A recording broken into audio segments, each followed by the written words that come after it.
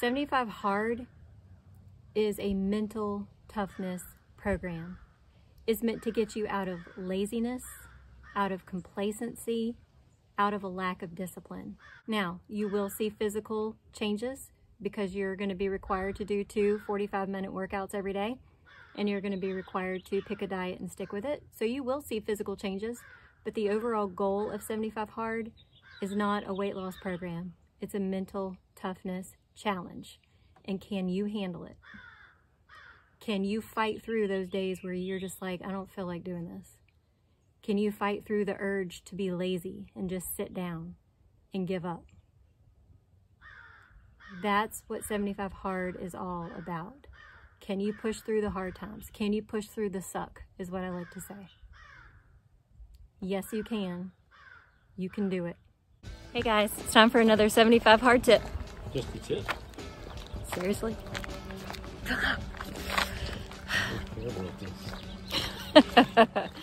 so one of the rules on 75 Hard is you have to complete two 45 minute workouts with one workout being outside.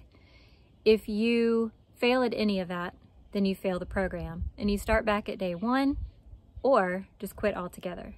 So I'm gonna give you some tips that will hopefully motivate you, tips that will give you ideas, tips that will help you succeed when it comes to completing both of your workouts.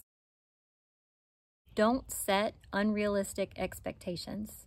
When you see pictures of those who have gone through the 75 hard program and you see that they've got six pack abs and jacked up arms and are just shredded, don't say to yourself, hey, I'm gonna look exactly like that. If I complete 75 hard, that's how I'm gonna look. Because more than likely, no, it's not. I'm just being truthful, y'all. There are so many factors that play into how we physically look. Our diets, our workouts, our starting points.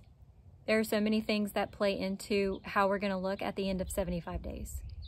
So don't set unrealistic expectations. Have a goal and work towards that goal. Let's say you wanna lose 10 pounds 20 pounds. Let's say you want ripped abs or jacked up arms and a shredded body. You need to have a plan as to how you will get there. You need to think about what your diet's going to be like. You need to think about what your workout routines will be like.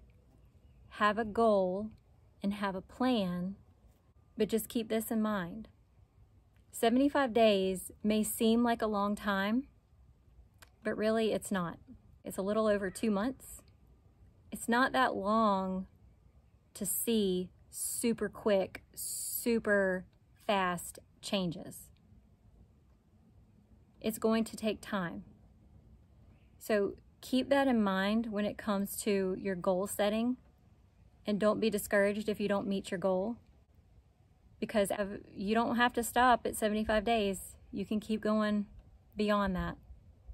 That's where you're going to see a lot of your changes is when you continue this journey after the 75 days is over. Don't look for your 75 day results on day two of 75 hard or day 12 or day 21. It's not going to happen.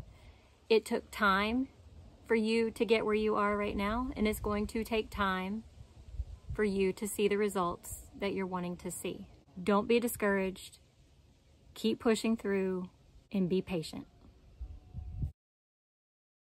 The intensity of your workouts and your diet will determine your results. So what you put in to each workout is what you will get out of it. So let's just say, I'm gonna use what I used to do um, a couple years ago when I did 75 hard. I did yoga as my first 45 minute workout and then I walked for my second 45 minute workout. Y'all, if you do yoga and walking, don't expect to come out looking like Arnold Schwarzenegger. It's not gonna happen. if you wanna look like him, you better put the work in to look like him. Um, so what you put into the workouts is what you're gonna get out of it. Your diet plays a huge part in how you physically look. If you're doing your workouts and to you those are pretty intense workouts, if you are consuming more calories than you are burning, you will not lose weight. So you need to determine, first of all, what your maintenance calories are. And your maintenance calories are the amount of calories you are currently eating to be at the weight that you currently are. And you need to eat under that. Now, I'm not going to tell you how much to eat under that, but the less you eat under that, the slower weight loss will be. The more you eat under your maintenance calories, the faster your weight loss will be.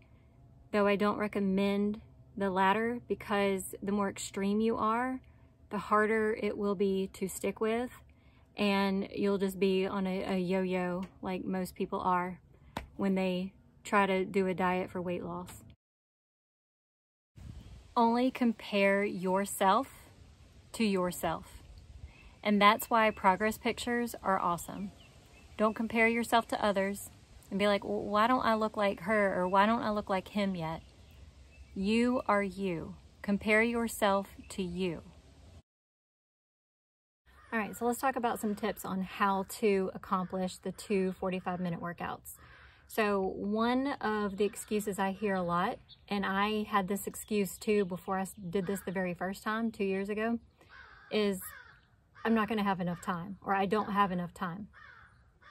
Y'all, we all have the same 24 hours, all of us. It's not that you don't have time, it's that you didn't make time. So to get both of my 45 minute workouts in for my first workout when I was a teacher, I was getting up at 3.45 in the morning. I like what Jocko Willink says, up before the enemy. Y'all at 3.45 in the morning, 4 o'clock in the morning, 4.30 in the morning, what's, what's going on at that time? Nothing. Everyone is sleeping. There's no work to be done. The early morning is probably the best time to get your first workout in because there's nothing else going on. You have time. You just have to make the time. Y'all, you get to pick your workouts. There's not a certain set of workouts you have to do. If you want to walk as your workout, walk. You can do yoga you can dance. You can stretch. Stretching is a workout. It's basically like yoga because you're having to use your muscles and hold poses. You can change your workouts. Like you don't have to, if you decide, you know, you're going to do yoga as one of your workouts, well, if there's a day that you would rather do something else, do something else. Pick workouts that you enjoy. All right, let's talk about the weather. So again, one of the rules is you have to do one workout outside.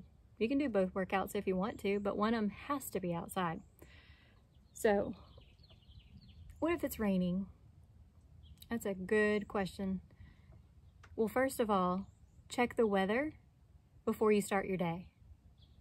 And if it's supposed to rain mostly in the afternoon, then try to get your outdoor workout done in the morning or vice versa. If it's supposed to like pour down rain in the morning, then let your workout be in the afternoon. If you are privileged to have an awning or can find somewhere like a park or something that has an awning, let me show you mine real quick.